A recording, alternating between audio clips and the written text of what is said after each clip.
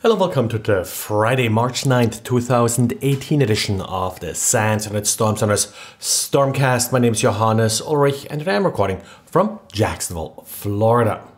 Remember a few weeks ago we had a crypto coin miner that installed itself on a number of PeopleSoft servers and the like using an Oracle WebLogic vulnerability. Well, it looks like this particular group is back, but this time they turned their attention to Apache Solr.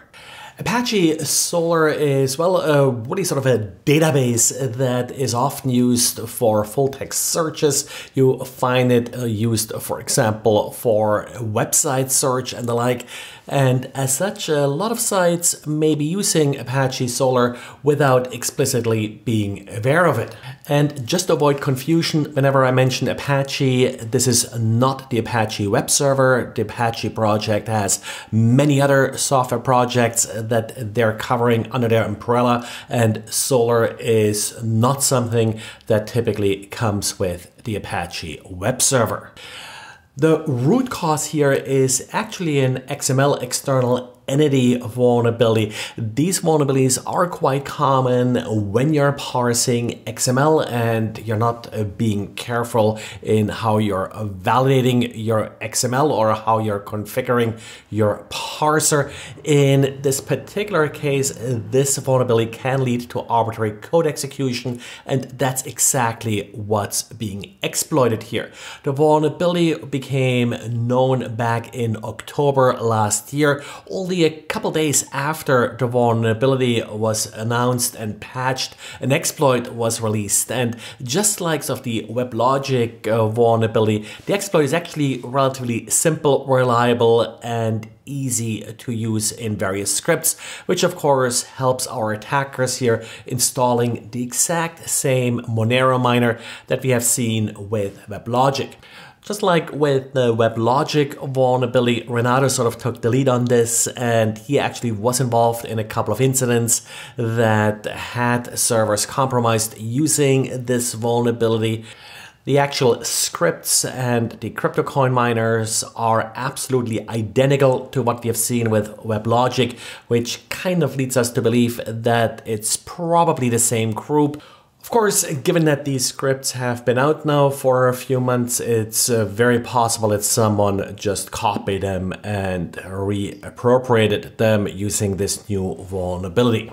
And just as Slack announced that it's going to discontinue support for its IRC gateways, well, uh, IRC certainly not dead in particular when it comes to bots. And to prove this, Xavier just discovered yet another IRC bot. Uh, you're a very classic, typical IRC bot. Looks a bit different than most of the IRC bots I have seen in the way it's sort of uh, coded and uh, how it actually uses its commands. But the idea is the same, where you have the bots connecting to an IRC server waiting for commands. Now, in this particular case, it looks like the commands are somewhat sort of uh, centered around uh, credit card fraud. There are a couple of commands to verify credit card numbers, but also commands to get more information, for example, about PayPal accounts. And one news item that didn't make it yesterday was a number of patches released by Cisco. Nothing really all that special, just the usual hard-coded SSH credentials that I think are sort of a standard feature for most Cisco equipment.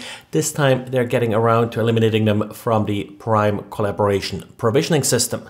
And the second vulnerability does affect the now defunct and no longer being sold secure access control system. That's a Java deserialization bug and it actually can lead to remote code execution as root.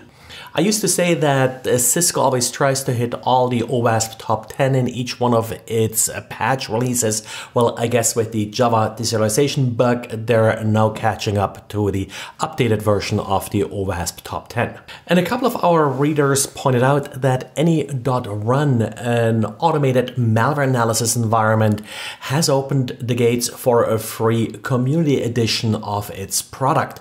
Now, what it really is, is a set of virtual machines machines that you can control through your browser. You can upload files into it. You can then have them analyzed essentially. You can collect the data, what is exactly being changed on the systems. Also, you can interact with these systems. So it's not like some of these other sandboxes where you just upload the file and a while later you get a report back. Instead, you can sort of interactively affect how your sample is being executed. I think it's a pretty neat system, in particular for hobbyists. Now, probably not the right thing to sort of analyze a potential zero-day malware as such, because it is not running in your environment. Any.Run is a company based out of Russia, and of course, you are uploading all of the documents that you are analyzing to their servers.